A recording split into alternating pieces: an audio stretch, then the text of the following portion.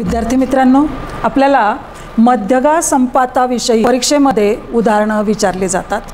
त्यासाठी आपण एक आपल्या पाठ्यपुस्तकातलं उदाहरण घेतो आहे. त्रिकोण ए बी सी हा आपण या ठिकाणी बोर्डवरती काढलेला आहे. या त्रिकोणामध्ये रेख ए पी ही बाजू बी सीवरील मध्यगा रेख बी क्यू ही बाजू ए सीवरील मध्यगा आणि रेख सी आर ही बाजू ए बीवरील मध्यक आहे. आपल्याला या ठिकाणी संबंध शोधायचा आहे. तो म्हणजे या संपात बिंदूमुळे मध्यकेचे होणारे जे दोन भाग आहेत त्यांचं गुणोत्तर काय येतं त्या संबंधी आपल्याला बघायचं. तर हे गुणोत्तर किती येतं ते पाहण्यासाठी आपण या ठिकाणी ही रचना केलेली आहे. आकृतीमध्ये रेख आर जीचं अंतर दोन पॉईंट पाच सेंटीमीटर आहे. तर त्यावरून आपल्याला आकृतीवरूनच प्रत्यक्ष मोजून रेख सी जीचं अंतर मोजायचं आहे ते अंतर पट्टीने मोजल्यावर त्या ठिकाणी येतं पाच सेंटीमीटर किंवा या ठिकाणी प्रत्यक्ष सेंटीमीटर हे एकक वापरणं शक्य नाही म्हणून मी ते एकक वाढवून घेतलेलं आहे परंतु प्रमाणात. तसंच मग आता आपण याचं गुणोत्तर मांडणार आहोत. आणि ह्या गुणोत्तराची किंमत किती येते हे आपल्याला या ठिकाणी बघायचं आहे. आणि म्हणून रेख सी जीचं गुणोत्तर आपण घेणार आहोत रेख आर जीशी प्रत्यक्ष मोजून असलेलं रेक सी जीचं माप आहे पाच एकक. तर रेक आर जीचं अंतर आहे दोन पॉईंट पाच एकक.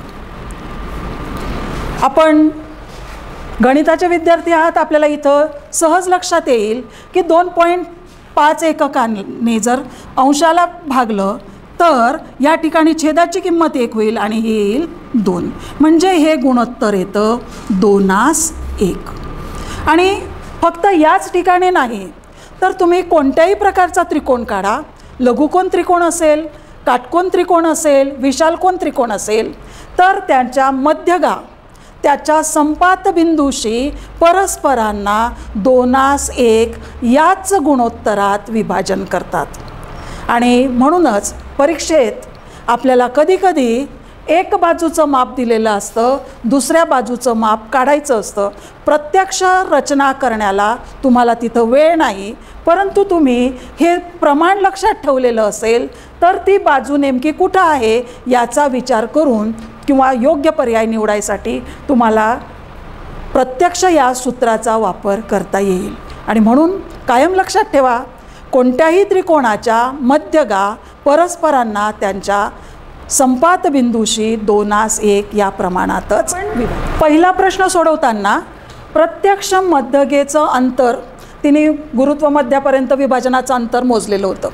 पण परीक्षेत आपल्याला जो प्रश्न येतो त्यामध्ये आपल्याला सूचना दिलेली असते की दिलेली दिलेला रेषाखंड हे परस्परांना मध्यगेचे कशा प्रकारे त्याचा अंतरछेद करतात त्यातील एका याची किंमत आपल्याला दिलेली असते. दुसरी किंमत तुम्हाला काढायची असते. आता यासाठी तुम्हाला परीक्षेमध्ये आकृती दिलेली असते.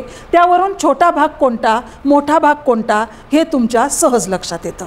आणि मग त्यासाठी आता उदाहरण क्रमांक दोन बघूया. आपल्याला या ठिकाणी दिलेलं आहे लेंथ बी जी बरोबर सहा एकक. तर तुम्हाला काढायची आहे किंमत लेंथ बी क्यूची मग या ठिकाणी बघा आकृतीमध्ये लेंथ बी जी कुठं आहे? तर हे हा तुम्हाला भाग दिसतो आहे. साधारणत हा लेंथ बी जीचा या रेषाखंडाची लांबी ह्या रेख जी क्यूपेक्षा मोठी दिसते आहे म्हणजेच हा मोठा भाग आहे. म्हणून तो आपण कुठं लिहिणार? अंशस्थानी लिहिणार आणि लहान भागाची किंमत आपल्याला काढायची आहे. आणि म्हणून रेख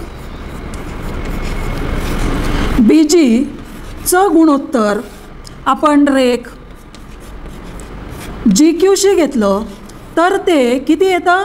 आपल्याला माहितीच आहे दोनास एक येतं. आणि म्हणूनच आपल्याला किंमत माहिती आहे रेख बीजीची.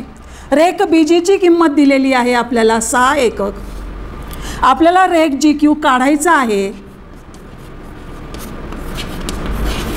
याचं गुणोत्तर आहे दोनास आता आपण पक्षांतर करणार आहोत. पक्षांतराचे नियम तुम्हाला माहिती आहेतच.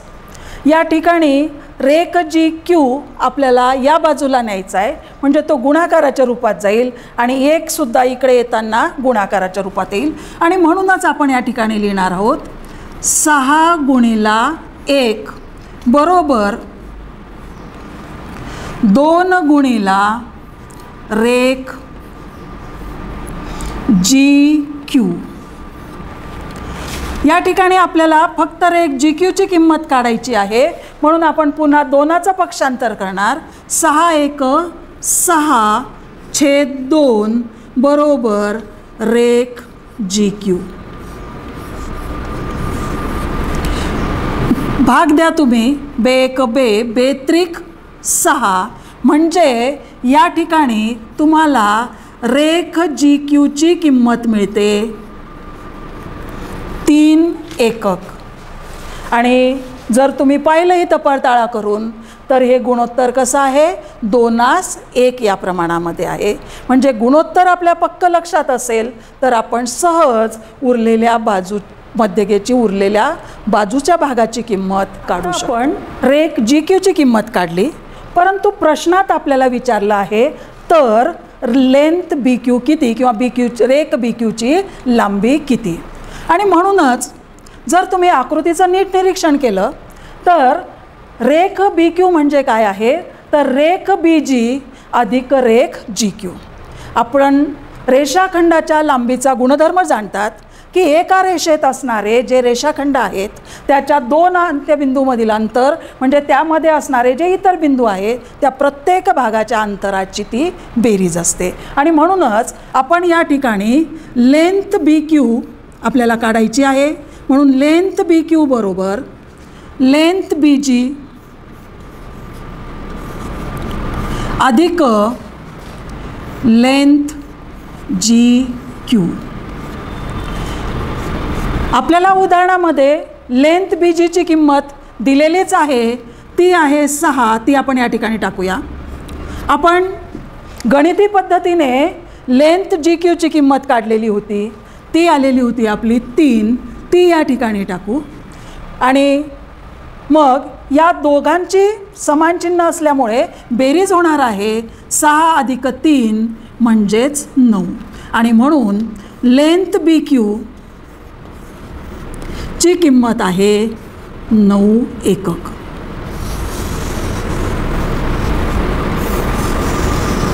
आपल्याला तिसरं उदाहरण दिलेलं आहे. जर लेंथ ए पी बरोबर सहा एकक दिलेली आहे त्यावरून तुम्हाला रेख ए जीची किंमत काढायची आहे. आपण आधी पाहिलं त्या उदाहरणाच्या थोडं विरुद्ध बाजूचं उदाहरण आहे. आपण आपल्याला त्या ठिकाणी एका भागाची किंमत दिलेली होती दुसऱ्याची आपण काढली त्यावरून ही किंमत काढली. मग आता त्यासाठी आपल्याला हे माहिती आहे की हे जे गुणोत्तर आहे रेषाखंडांच्या लांबीचं ते दोनास एक या प्रमाणात आहे आणि म्हणून लेंथ रेक ए जी चं गुणोत्तर लेंथ ऑफ रेक जी पी बरोबर दोनास एक आहे. हा भाग मोठा आहे म्हणून यात आपण एक समान पट घ्यावी लागेल आपल्याला. म्हणून त्या ठिकाणी आपण घेतलं त्याची लांबी दोन एक्स तर रेख जी पीची लांबी येईल त्या ठिकाणी एक्स बरोबर दोनास एक. आता ही लांबी जी आहे त्यामध्ये रेख ए पी बरोबर आहे. रेक ए जी.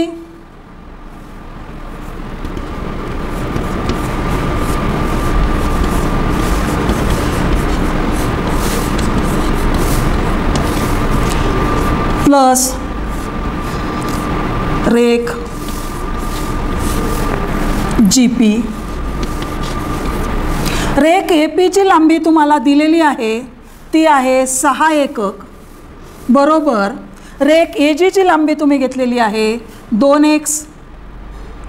अधिक एक्स म्हणजेच इथं सहा बरोबर तीन एक्स मिळतील तुम्हाला. आणि यावरून तुम्ही एक्सची किंमत काढू शकतात. तिनाचं पक्षांतर केलं तर आपल्याला किंमत मिळेल एक्स बरोबर दोन. आपण एक्सची किंमत मिळवलेली आहे दोन. या सूत्रामध्ये आपण त्या एक्सची किंमत टाकणार आहोत. म्हणजे आपल्याला त्या विशिष्ट रेषाखंडाची लांबी मिळण्यास मदत होईल. आणि म्हणून या ठिकाणी आपण सूत्रामध्ये एक्सची किंमत दोन टाकतो आहेत. म्हणून दोन गुणीला दोन छेद दोन म्हणजेच चार छेद दोन. आपण या ठिकाणी एक्सची किंमत टाकली. आणि या ठिकाणी मग दोन गुणीला दोन ही एक्सची किंमत आपण अंशस्थानी टाकली. छेदस्थानी सुद्धा आपण एक्सची किंमत दोन टाकली. रेख ए जी हा या गुणोत्तरात अंशस्थानी होता. म्हणून दोन गुणीला दोन म्हणजेच किंमत आली चार. आणि म्हणूनच आपण असं सांगू शकतो की रेख ए जीची किंमत आली आपली या ठिकाणी चार एकक. तर रेख जी पी हा गुणोत्तरात छेदस्थानी आहे. म्हणून रेक जी पीची किंमत आली आपली.